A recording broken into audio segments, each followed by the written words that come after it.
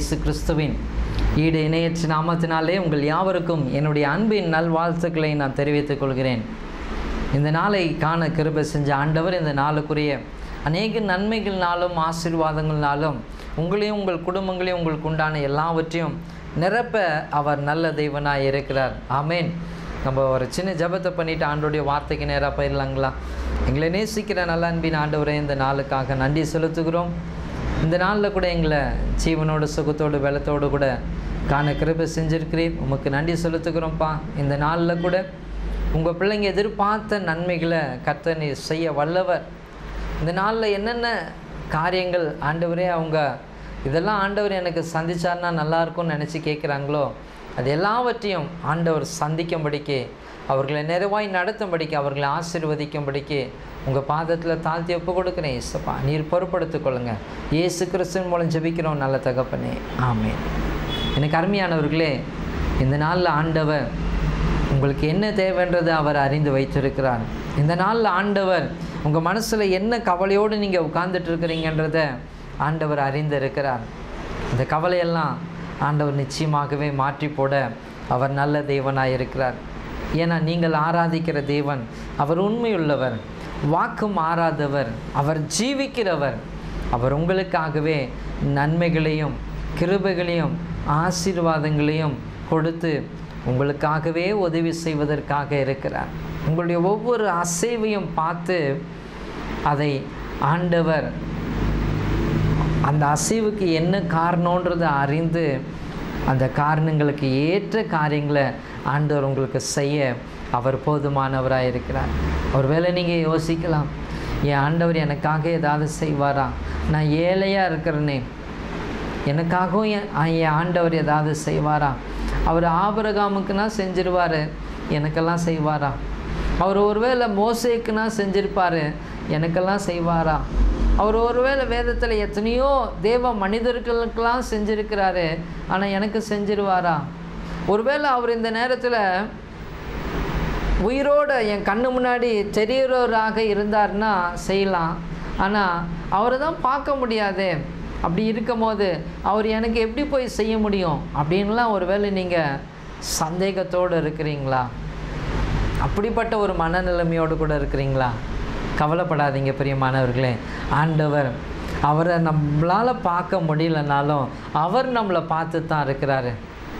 அவர் நம்மளை பார்த்துட்டு இருந்தாலுமே போதும். நம்முடைய காரியங்களை ஜெயமாக மாற பண்ணுவார். நம்முடைய பிரச்சனைகளை ஆண்டவர் நீக்கி போடுவார். அதனால் சோர்ந்து போயிடாதீங்க.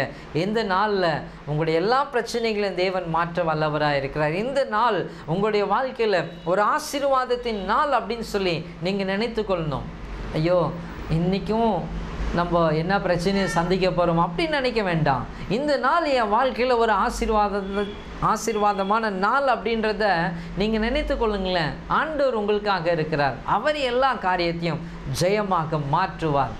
வேதத்தில் நான் உங்களுக்காக ஒரு வசனத்தை நான் வாசிக்கிறேன். கவனிங்கள் யோசுவாவின் புஸ்தகம் முதலாம் அதிகாரம் அதில் ஐந்தாவது வசனத்தை நான் உங்களுக்காக வாசிக்கிறேன். யோசுவாவின் புஸ்தகம் முதலாம் அதிகாரம் ஐந்தாவது வசனத்தை நான் உங்களுக்காக வாசிக்கிறேன்.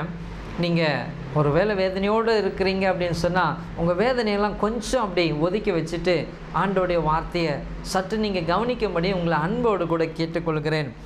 இதில் ஆண்டவர் சொல்கிறார் யோசுவாவை பார்த்து நீ உயிரோடு இருக்கும் நாளெல்லாம் ஒருவனும் உனக்கு முன்பாக எதிர்த்து நிற்பதில்லை. நான் மோசையோடு இருந்தது போல உன்னோடும் இருப்பேன். நான் உன்னை விட்டு விலகுவதும் இல்லை உன்னை கைவிடுவதும் இல்லை இந்த இடத்துல ஆண்டவர் சொல்கிறாரு யோசுவா கிட்ட ஆண்டவர் சொல்கிறார் வாலிப வயதில் இருக்கிற ஒரு யோசுவா. அவர் வாலிப வயசில் இருந்தாலும் ஒரு பெரிய பொறுப்பில் ஆண்டவர் யோசுவாவை இந்த இடத்துல வைத்திருந்திருக்கிறார். நிறைய வேலைகளில் நம்மலாம் சின்ன பிள்ளைங்க நமக்கு என்ன தெரியும்? அப்படின்னு சொல்லி பெற்றோர் சொல்லலாம் நம்மளை பார்த்து. ஏய் நீ சின்ன பிள்ளை உனக்கெல்லாம் ஒன்றும் தெரியாது அமைதியாரு. ஏய் நீ சின்ன பையன் அமைதியார் அப்படின்னு சொல்லுவாங்க. ஒருவேளை நம்ம நைன்த்து படிச்சுட்டு இருக்கலாம் இல்லை டென்த்து படிச்சிருக்கலாம் இல்லை காலேஜில் என்ட்ரு ஆகிருக்கலாம்னு வச்சுக்கோங்களேன். நம்மளை பார்த்து நம்ம தாய் தகப்பனோ நம்மளை சுற்றி இருக்கிறவர்களோடு நம்முடைய சபையாரோ என்ன சொல்லுவாங்கன்னா ஏய் நீங்கள் சின்ன பிள்ளைங்க இதிலெல்லாம் தலையிடக்கூடாது. பெரியவங்க விஷயத்தில் தலையிடக்கூடாது. பெரியவங்க பேச்சில் தலையிடக்கூடாது. அமைதியாக இருந்து வேடிக்கை மட்டும் பார்க்கணும். தேவையில்லாமல் எதுலேயும் என்டர் ஆகக்கூடாது அப்படின்னு சொல்லி நம்ம சின்ன பிள்ளைங்களை அடக்கி அடக்கி தான் பார்த்துருக்குறோம். ஆனால் எனக்கு அருமையானவர்களே வாலிப வயசில் இருக்கிறவர்களை ஆண்டவர் அடக்கி வைக்கிறவரால் சிறு பிள்ளைகள் என்னிடத்தில் வருவதற்கு இடம் கொடுங்கள் அவர்களை தடை பண்ணாதருங்கன்னு சொல்லி தான் ஆண்டவர் என்கரேஜ் பண்ணியிருக்கிறார்.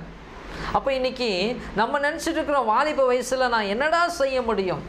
அப்படின்னு சொல்லி எனக்கு அருமையானவர்களே வாலிபனாக இருந்த யோசேப்பை கொண்டு தான் ஆண்டவர் அந்த எகிப்து தேசத்துக்கு மாத்திரமல்ல அந்த நாட்களில் அந்த யோசிப்பு வாழ்ந்த நாட்களில் சுற்று வட்டாரத்தில் இருக்கிற எல்லா நாடுகளுக்கும் ஆகாரம் கொடுப்பதற்கு ஒரு வாலிபன் ஆகிய யோசேப்பை ஆண்டவர் பயன்படுத்தினார். அந்த ஒரு வாலிபனாக இருந்த யோசேப்பை கொண்டு அத்தனை கோடிக்கணக்கான மக்களுக்கும் ஆண்டவர் தடை இல்லாமல் அவர்களை போஷித்து நடத்த அவரால் முடிஞ்சதுன்னா மற்றவங்களுடைய பார்வையில் ஏய் உன்னால் என்ன செய்ய முடியும்? அப்படின்னு நினச்சாங்க. அந்த ஆண்டவருடைய பார்வையில் முழு உலகத்துக்கும் ஆகாரம் கொடுக்க ஒரு ஒரு யோசிப்பை ஆண்டவர் பயன்படுத்தினார். இந்த இடத்துல பார்க்கும்போது ஒரு யோசுவாவை வாலிபன் தான். இந்த வாலிபன் என்ன பெருசாக செஞ்சிருவான் அப்படின்னு நிறைய பேர் யோசிந்திருக்கலாம். ஒருவேளை அந்த யோசுவா கூட இருந்த எத்தனையோ மூத்த தேவ மனிதர்கள் யோசுவாவை விட ப மூணு மடங்கு வயதில் கூடினவர்கள் கூட யோசுவா செய்தது போல செய்யவே இல்லை. ஆனால் யோசுவா அவர்களை விட மூணு மடங்கு வயதில் குறைவுள்ளவராக இருந்தாலும் ஆண்டவரால் நல்ல பயன்படுத்தப்பட்ட ஒரு மனுஷன். ஆண்டவரால் நேசிக்கப்பட்ட மனுஷன் ஆண்டவரால் அவரோடு கூட பேசி ஆண்டவர் அவருக்கு ஆலோசனை கொடுத்து அவரை நடத்தின ஒரு தேவ மனிதன் தான் இந்த யோசுவா. இன்னைக்கு இந்த நிகழ்ச்சியை பார்த்து கொண்டு இருக்கிற என் அன்பு தேவ ஜனமே உங்கள் லைஃப்பில் நீங்கள் மற்றவங்க நினைக்கிற மாதிரி நான் மட்டும் பெரிய ஆளாக இருந்திருந்தா நான் மட்டும் ஒரு வசதியான குடும்பத்தில் பிறந்திருந்தான் நான் மட்டும் நல்லா படிச்சிருந்தான் நான் மட்டும் ஒரு நல்ல உத்தியோகத்தில் இருந்திருந்தா என் லைஃப் எப்படி தெரியுமா இருந்திருக்கும்? அப்படின்லாம் ஒரு வேளை நீங்கள் பேசலாம் ஒரு வேளை நீங்கள் மனசில் நினைக்கலாம். ஆனால் எனக்கு அருமையான தேவ ஜனமே நம்ம நினைக்கிறது தப்பு. நான் மட்டும் அப்படி இருந்திருந்தான்னா நம்ம ஒன்றும் செஞ்சுருக்கவே முடியாது. இப்போ எப்படி இருக்கிறோமோ அப்படி தான் இருந்திருப்போம். நம்ம கூட ஆண்டவர் இருந்திருந்தால் நம்மளுடைய நிலைமை வேற. நம்ம கூட ஏசப்பா இருக்கிறார் அப்படின்னா நம்முடைய சூழ்நிலை வேற. நம்ம கூட தேவாதி தேவன் கர்த்தாதி கர்த்தர் நம்ம கூட இருக்கிறாரு நம்மளை செயல்படுத்தி கொண்டு இருக்கிறாரு நமக்கு ஆலோசனை கொடுத்து கொண்டு இருக்கிறாரு நம்மளை வழி நடத்திட்டு இருக்கிறார் அப்படின்னு சொன்னால் நம்ம லெவலே வேற பிரியமானவர்களே நம்ம நினச்சிட்டு இருக்கிறோம் நான் மட்டும் அந்த குடும்பத்தில் பிறந்திருந்தா எப்படி தருமா இருந்திருப்பேன்? நான் மட்டும் அந்த குடும்பத்துக்கு வாழ்க்கப்பட்டு போயிருந்தா எப்படி தெரியுமா இருந்திருப்பேன்? நான் மட்டும் இந்த அளவுக்கு படிச்சிருந்தேன்னா நான் எப்படி தெரியுமா இருந்திருப்பேன்னு சொல்லி இன்னைக்கு அநேகர் சொல்லுவது உண்டு. ஆனால் அவங்க லைஃப்பில் இருக்கிற நிலைமையில சாதிச்சு காண்பித்தது கம்மி பிரியமானவர்களே இன்னைக்கு நீங்கள் கூட அப்படி யோசிக்கலாம். ஆனால் ஆண்டவர் உங்களை பார்த்து சொல்ல ஒரு காரியம் யோசுவாவுக்கிட்ட சொன்னாரே நீ உயிரோடு இருக்கும் நாளெல்லாம் ஒருவனும் உனக்கு முன்பாக எதிர்த்து நிற்பதில்லை. இந்த வார்த்தை எவ்வளோ பெரிய வார்த்தை. ஒரு வாலிப வயசில் இருக்கிற ஒரு ஒரு வாலிப பையன்ட்டு ஆண்டவர் பேசுகிறாரு அந்த வாலிப சகோதரனுடைய மனசில் இருக்கிற அந்த வேதனையை அந்த கவலையை ஆண்டவர் நீக்கி போடும்படிக்கு அவனோடு கூட பேசுகிற ஒரு வார்த்தை தான். நீ உயிரோடு இருக்கும் நாளெல்லாம் ஒருவனும் உனக்கு முன்பாக எதிர்த்து நிற்பதில்லை அப்படின்னு சொல்கிறார் எனக்கு கருமையானவர்களே ஒரு வாலிபன் பல லட்சம் மக்களை வழி நடத்துறதுக்கு வழி நடத்தின அந்த மனுஷர்களை அவங்களுக்கு அவங்க லைஃபுக்கு இந்த இடம் இதை தான் அவங்களுக்கு கொடுக்கணும்னு சொல்லி அந்த கோத்திரத்தாருக்கு அந்த இடங்களை பங்கிட்டு கொடுப்பது என்பது சாதாரண காரியம் அல்ல. எத்தனை பிரச்சனைகள் இருக்கும் எத்தனை போராட்டம் இருக்கும் எத்தனை உபத்திரம் இருக்கும் எத்தனை பேருடைய அவமானம் இருக்கும் எத்தனை பேருடைய பழி சொல் இருக்கும் எத்தனை பேர் யோசுவாவுக்கு விரோதமாக எழும்ப முடியும். ஆனாலும் ஆண்டவர் பாருங்களேன் இதெல்லாம் யோசிச்சுட்டு கவலைப்பட்டுட்டு இருந்த யோசுவாவை பார்த்து ஆண்டவர் சொல்கிறாரு நீ கவலைப்படாத நீ ஏன் கவலைப்படுற? நீ வேதனைப்படாத. நீ எதையும் நினச்சி போட்டு குழம்பாத. நீ தனி ஆள் நினச்சி நீ வருத்தப்படாத. உனக்காக யாராவது சப்போர்ட்டாக நிற்பாங்களான்னு சொல்லியெல்லாம் நீ கலங்காத. யாரும் நிற்க வேண்டாம். நான் உன் கூட இருக்கிறேன்.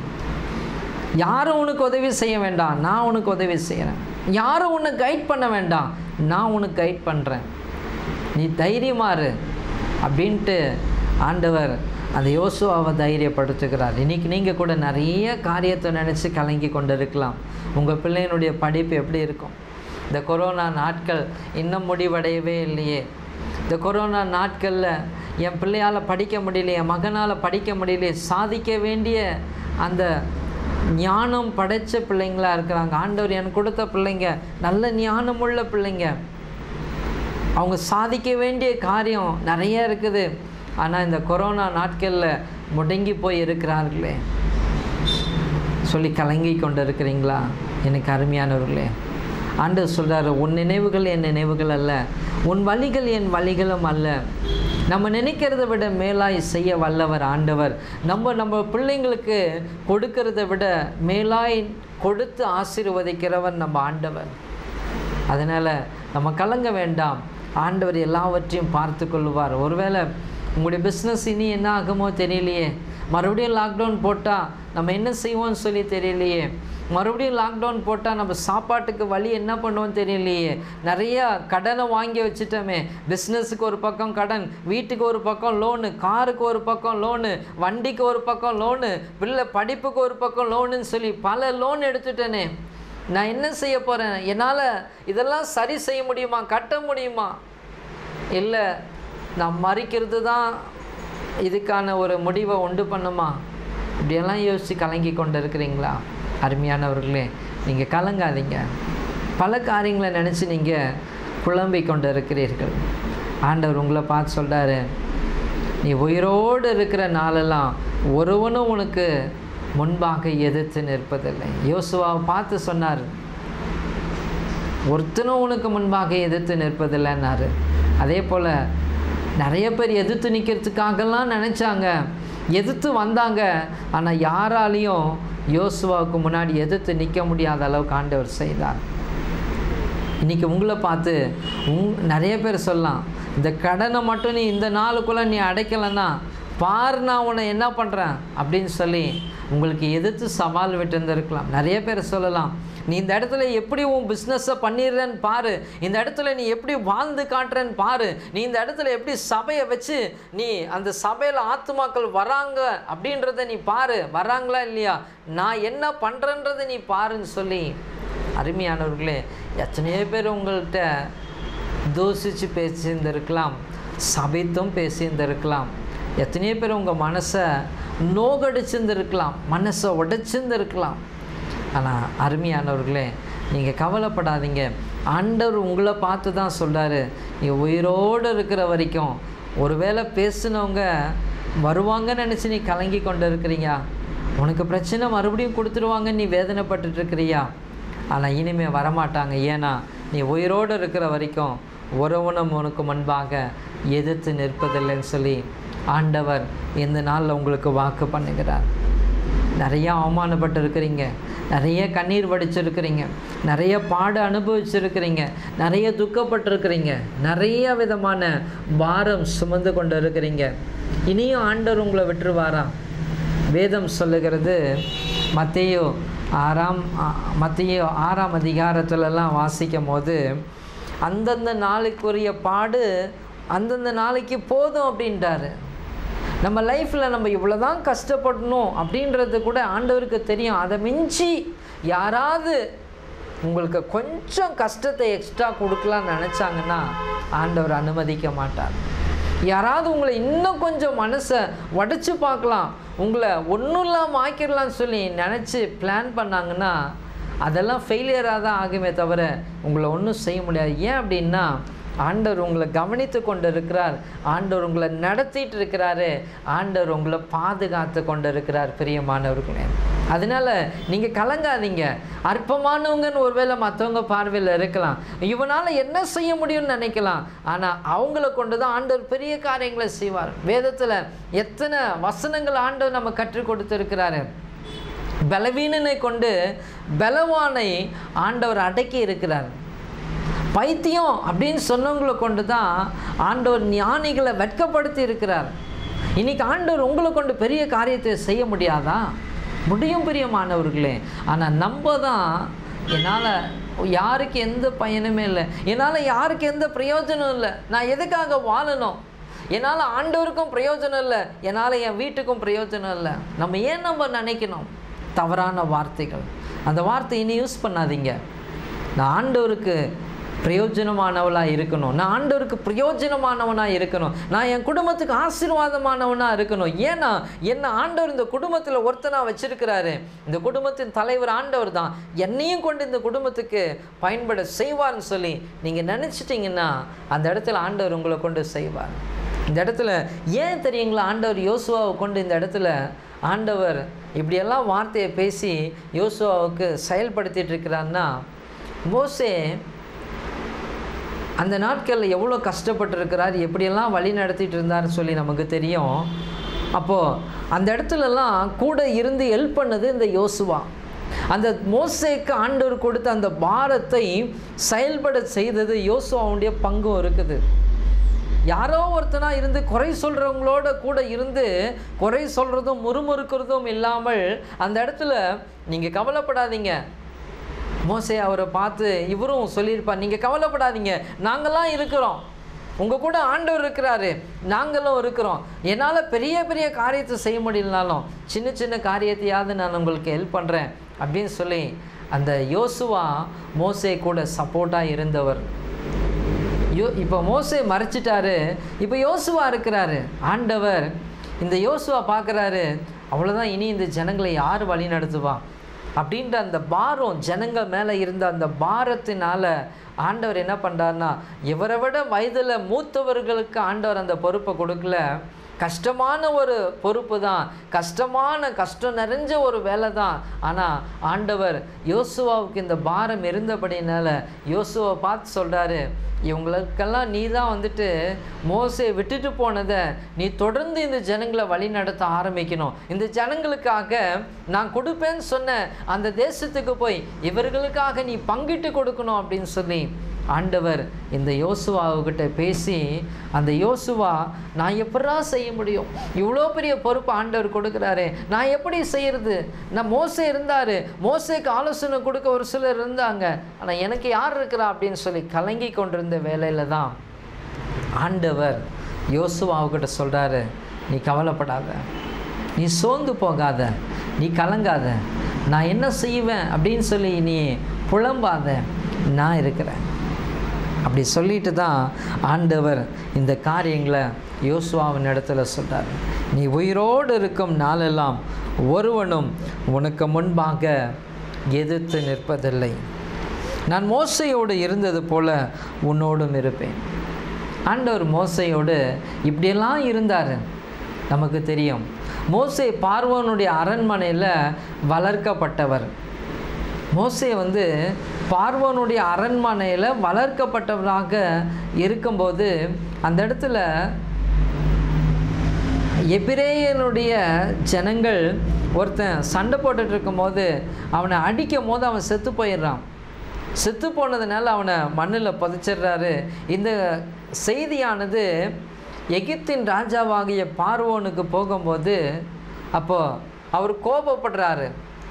சாரி எபிரேயர் எகிப்தின் ஜனங்களில் ஒருத்தனை அவர் அடிக்கும் போது அவன் செத்து போயிடுறான்.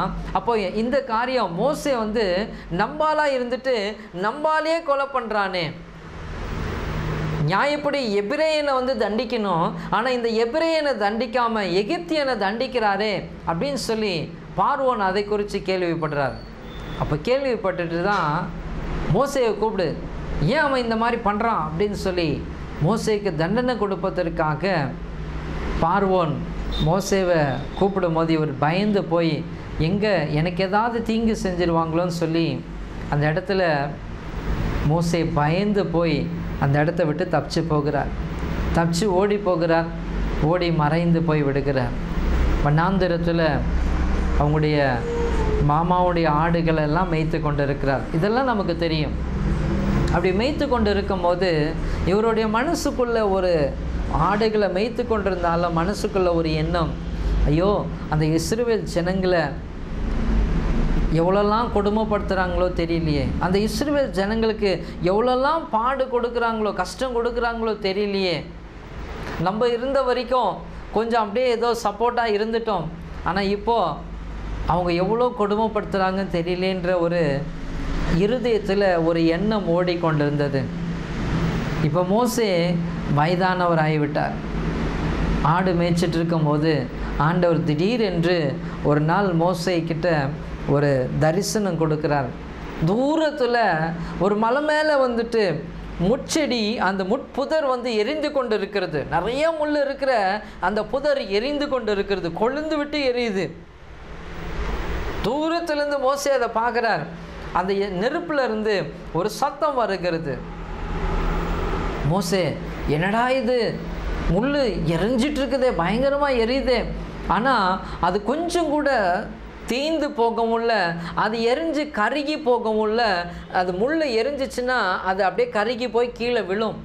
அது ஒரு ஒரு கிளையும் எரியும் போது அப்படியே அந்த ரெட் கலராக அந்த கிளை வந்து எரிஞ்சுக்கிட்டே இருக்கும். அப்போ எரிஞ்சு எரிஞ்சு கீழே விழும். ஆனால் மோசே ரொம்ப நேரமாக அதை பார்த்துட்டு இருக்கிறாரு. அந்த மாதிரி எதுவுமே இல்லை. ஆனால் அது அப்படியே எரிஞ்சுக்கிட்டே இருக்குது. ஒரு சின்ன அந்த கிளைகள் கூட கருகவே இல்லை. அப்படியே இருக்குது. இதை பார்த்துட்டு ஆச்சரியமாக என்னவா இருக்கும்னு சொல்லி தெரியலேன்னு சொல்லி அப்படியே கிட்ட வராரு. பயந்து பயந்து கிட்ட வரும்போது தான் அந்த இடத்துல இருந்து ஆண்டவர் பேசுகிறாரு மோசே உன் பாதரட்சியை கழட்டி போடு. இந்த இடம் பரிசுத்த பூமி அப்படின்றார். உடனே மோசே பாதரட்சியை கழட்டி போட்டுட்டு அந்த இடத்துல வரும்போது ஆண்டு சொல்கிறாரு நான் உன்னை தெரிந்து கொண்டேன். இந்த இஸ்ரவேல் ஜனங்களை நீ தான் போய் காப்பாற்றணும் நீ தான் விடுவிக்கணும்.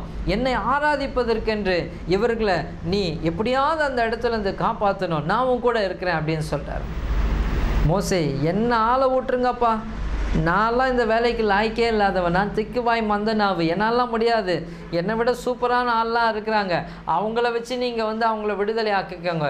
நான் மறுபடியும் அந்த தசையிலே திரும்பி கூட பார்க்க மாட்டேன்னு சொல்லி மோஸ்ட்லி ஆண்டவர்கிட்ட சொல்கிறாரு ஆனால் ஆண்டவர் சொல்கிறாரு இல்லை. நான் உன் கூட சப்போர்ட்டுக்கு வேறு யாரை வேணாலும் வச்சுருப்பேன். ஆனால் நீ தான் வந்து ஜனங்களை விடுதலை ஆக்கிறதுக்கு வல்லவன் அப்படின்னு சொல்லி ஆண்டவர் சொல்கிறார் நான் உன்னை தெரிந்து கொண்டேன். நான் உன் கூட இருக்கிறேன்.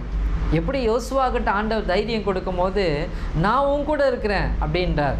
மோசேக்கிட்ட ஆண்டவர் சொல்கிறாரு நான் உன் கூட இருக்கிறேன் நீ போ. இல்லை சாமி நீங்கள் வேறு உங்களுக்கு ஒன்றுமே தெரியறதில்ல பார்வோன் என்னை கொலை பண்ணுறதுக்காக சுற்று போட்டு தேடினாரு. நான் எப்படியோ அங்கேருந்து எஸ்கேப் ஆகிலாம் வந்துட்டேன். இப்போ மறுபடியும் போய் அதுலேயே என்னை நீங்கள் சிக்க விட்டு பார்க்குறீங்களே. நான் சாவது தான் உங்களுக்கெல்லாம் பிடிச்சமாக இருக்குதா? அப்படின்னு சொல்லி இவர் ஆண்டவர்கிட்ட ஒரு நம்ம கூட கேட்டிருந்திருக்கலாம். இல்லைன்னா இப்படியெல்லாம் அவர் மனசுக்குள்ளே நினச்சிட்டு கேட்காம கூட இருந்திருக்கலாம். ஆனால் இவர் சொல்கிறாரு நான்லாம் இதுக்கு வரமாட்டேன். வேற யாராவது பார்த்துக்கோங்க அப்படின்னும் போது ஆண்டு சொல்கிறார் இல்லை நீ தான் வரணுன்ட்டு மோசேவை தைரியப்படுத்துகிறார் நான் உன் கூட இருக்கிறேன். நீ பார்வன் முன்னாடி போகும்போது அவன் உனக்கு எதுவும் செய்ய முடியாது.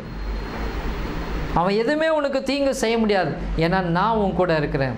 நீ தைரியமாக போனும்போது அந்த பார்வோனும் அவனுடைய சேனையுமே நடுங்கிற அளவுக்கு ஆண்டவர் மோசையோடு கூட இருந்தார்.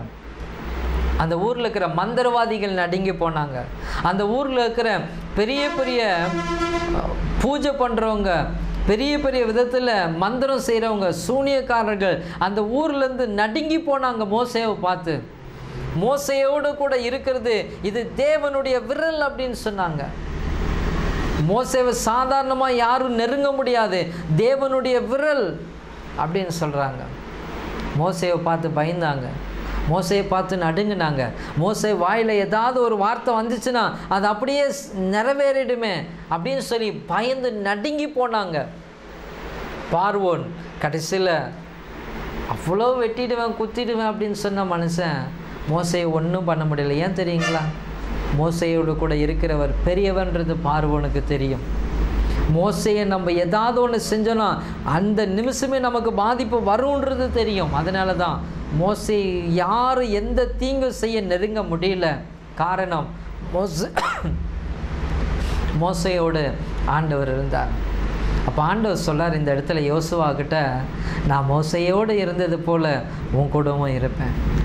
இன்னைக்கு இந்த நிகழ்ச்சியை பாட்டு பார்த்துட்டு இருக்கிற அருமையான சகோதரியே அருமையான தாயாரே அருமையான தகப்பனாரே அருமையான வாலிபனே அருமையான வாலிப சகோதரியே அண்டர் உங்களை பார்த்தும் சொல்கிறாரு நீ கவலைப்படுறியா? நீ நடுங்கி கொண்டு இருக்கிறியா ஏதோ காரியத்தை நினச்சி.